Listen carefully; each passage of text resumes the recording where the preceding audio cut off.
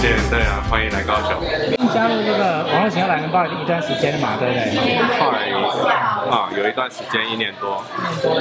嗯，那你目前服务项目什么可以跟大家介介绍一下吗？哦，我目前经营一家通讯行，那比较跟人家比较不一样的是，我是走所谓的行动到付服务。那我们的服务项目有各家门号的申办跟洗码、新旧手机的买卖，比如新的智慧型手机，那你有旧的旧的智慧型手机要处理，我也可这边也可以帮你卖掉。对，周边配件的买卖、包膜啊，还有包含啊修手机的部分，就是 iPhone 的部分比较专门。对，iPhone 的部分。对，iPhone 专修。服务项目还蛮多的。对啊，就是一般通信行可以做的事情，我这边都可以做。那你目前的行销方式用了哪些网络行销方式呢？哦，目前网络行销方式包含 Line。还有 Line、FB、FB 的粉丝专业，那我自己也有架个人的网站，用 webrry 来架个人的网站。对，那最近比较有在学的就是在自媒体跟影片拍摄的部分。影片拍摄部分也已经开始做了。对，影片拍摄部分也在开始做。那你学这些网络营销方法，对你来说最大的帮助是什么？最大的帮助哦，其实我觉得最大的帮助是在于，因为这是我第二次创业了，那我在第一次创业，我是一个实体店面，我是加盟一个茶饮店。那我光每个月的人事开销、店租，哎，然后原物料的成本，基本一个月就要三十万。一个月就三四万块。三十万。一个月就三十万。是三十万，不是三十万，是三十万。哦，蛮多的。对，所以我现在。呃，第二次创业的部分，所以就会有所谓会想到呃无实体店面，好，然后人员的管销部分，我也就尽量的去节制，对，所以才会有接触到网络行销的这一块。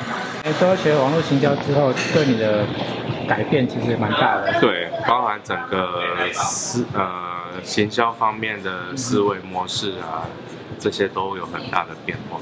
那你除了网络行销之外？嗯，还有用哪些行销方式呢？哦，因为没有实体店面的关系，就是相对的，呃，有些客人他会有疑虑，说那你没有实体店面会是不是安全的？你会不会跑掉这之类的？所以，呃，我会比较注重所谓的口碑式行销，对，借由既有的客户或者是一些商务平台。对，去帮我引荐生意，因为熟人引荐，信任感会比较增加。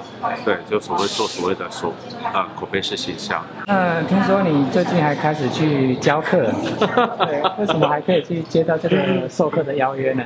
呃。其实也是个很偶然的机会，因为自己有在参加一些政治团体的活动，对，那呃刚好自己也在碰手机方面，也都还蛮熟的，对，所以在参加这些活动的同时，也会发现一些他们手机上面有问题，那我可以马上的帮他们解答，或者手机的疑难杂症，马上的帮他们做处理，那也就被他们这些政党的。干部有看到，对，那就会有兴趣说，哎，那你。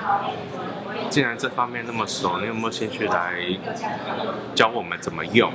好，比如说社群软体，FB 怎么经营，赖怎么去申，赖怎么申请啊？怎么做？包含 Line 怎么去经营这些方式，所以才会有陆陆续续有这方面的邀约的课程产生这样子。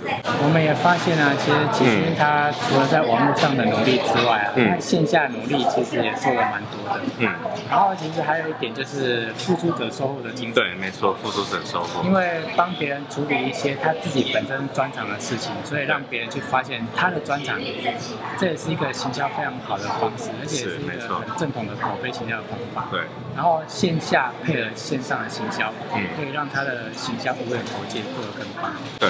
那这边这边也要非常推荐奶爸的课程。为什么要推荐奶爸的课程？因为其实奶爸的课程，当初我要接触网络学校的时候，我有做很多的多方面的评估考量。